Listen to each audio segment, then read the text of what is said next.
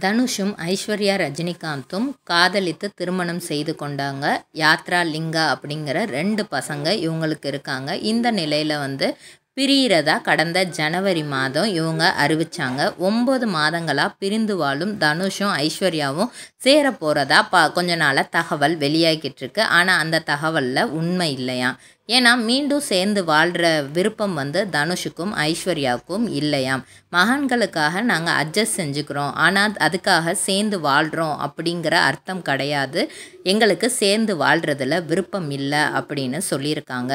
மகன்களுக்காக நேரம் ஒதுக்குவது நிகழ்ச்சிகளில் ஜோடியாக கலந்து கொள்வது என்று அட்ஜஸ்ட் செய்ய தனுஷும் ஐஸ்வர்யாவும் தயாராக இருக்காங்க.